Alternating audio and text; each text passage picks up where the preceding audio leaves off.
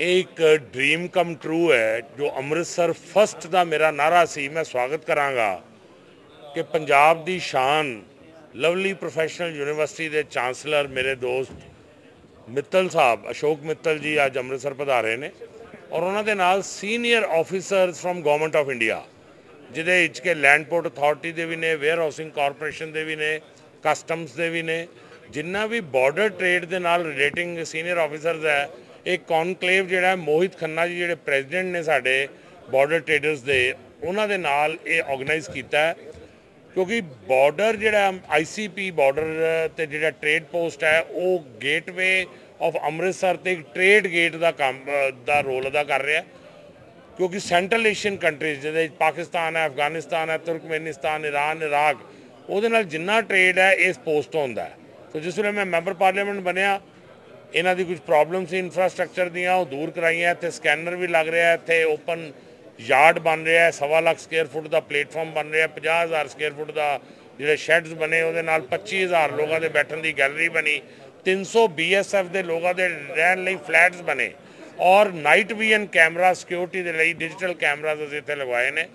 ਇਸੇ ਤਰ੍ਹਾਂ Amritsar railway station, Amritsar international airport ਔਰ ਇੱਕ ਆਈਟੀ ਦੇ ਲਈ 20 ਕਰੋੜ ਰੁਪਏ ਦਾ ਅਸੀਂ ਟ੍ਰੇਨਿੰਗ ਸੈਂਟਰ ਜਿਹੜਾ ਇੱਥੇ ਖੋਲ ਰਹੇ ਹਾਂ ਮਿਨਿਸਟਰ ਗਵਰਨਮੈਂਟ ਆਫ ਇੰਡੀਆ ਦੀ ਤਰਫ ਤੋਂ।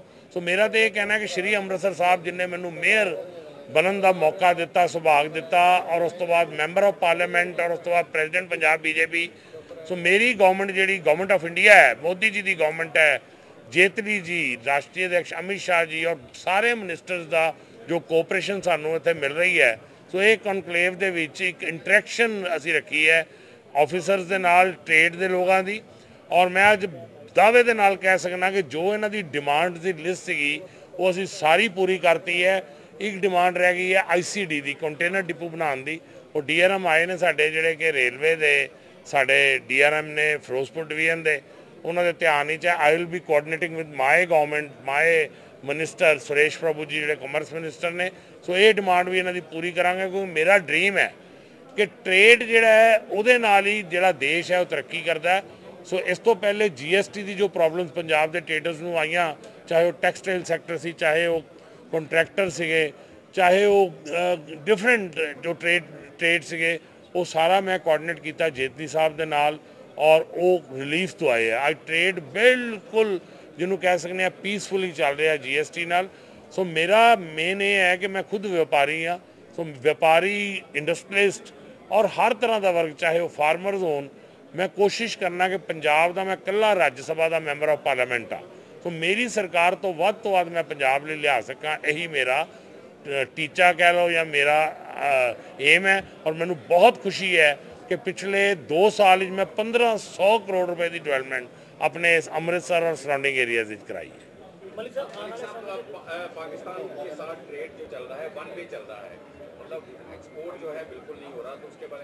ऐसा है कि हमारी गवर्नमेंट का तो प्रयास रहता है। हमारी गवर्नमेंट ने तो सिर्फ़ यही कहा कि शांति और आतंकवाद इकट्ठे नहीं चल सकते। अगर शांति वार्ता करनी है तो आतंकवाद पाकिस्तान रोके। आई एम ऑप्टिमिस्टिक वहाँ पे नए प्रधानमंत्री आए हैं। हमें उम्मीद है कि रिलेशंस जो सुधरेंगे और आने वाले समय में ये ट्रेड बढ़ेगा। मैं वही प्रयास कर रहा हूँ कि यहाँ की इंफ्रास्ट्रक्चर का पूरा सेटअप मैं क्रिएट कर दूँ ताकि जब भी ये ट्रेड के लिए एक सुहावनी सुहावना मौसम आए तो इंफ्रास्ट्रक्चर की कमी रास्ते में ना आए। ये ये जो है ये पाकिस्तान की तरफ़ से that's what I am saying क्या टोटली पाकिस्तान की तरफ़ से है कि वो आज आतंकवादियों की शरण स्थली है, आज आतंकवादियों को वो संरक्षण देते हैं।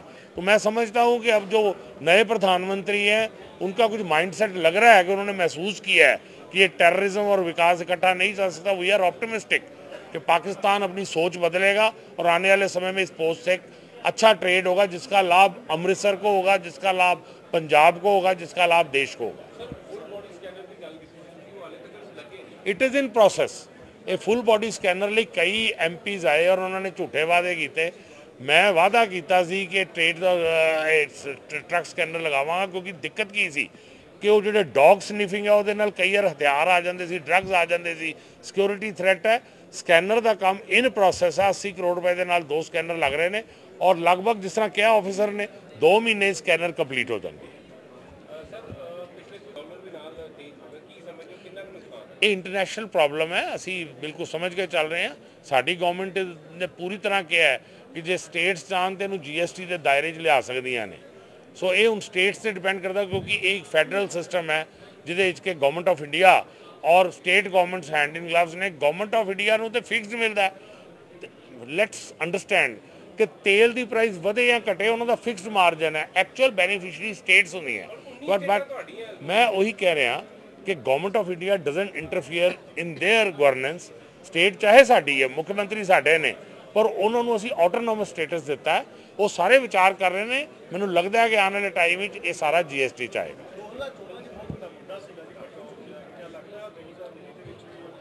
ਨਹੀਂ ਦੇਖੋ ਇਹ ਪ੍ਰਾਈਸਿਸ 2014 ਵਿੱਚ ਵੀ ਇੰਨੀਆਂ ਗਈਆਂ ਸੀ ਸਰਦਾਰ ਮਨਮੋਹਨ ਸਿੰਘ ਜੀ ਦੇ ਟਾਈਮ ਸਾਡੇ ਕੋਲ ਫਿਗਰ ਤੇ ਗਈਆਂ ਨੇ ਸੋ ਉਹ ਤੇ ਬੋਲ ਨਹੀਂ ਸਕਦੇ, ਪਰ ਸਾਡਾ ਪੂਰੀ ਕੋਈ ਇੰਟਰਨੈਸ਼ਨਲ ਪ੍ਰੋਬਲਮ ਹੈ।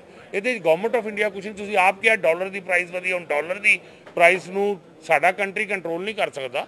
ਪਰ ਫਿਰ ਵੀ ਗਵਰਨਮੈਂਟ ਆਫ ਇੰਡੀਆ ਪੂਰੀ ਅਲਰਟ ਹੈ ਕਿ ਇਹਨਾਂ ਪ੍ਰਾਈਸਿਸ ਨੂੰ ਨੀਚੇ ਲੈ ਕੇ ਆਇਆ। ਠੀਕ ਹੈ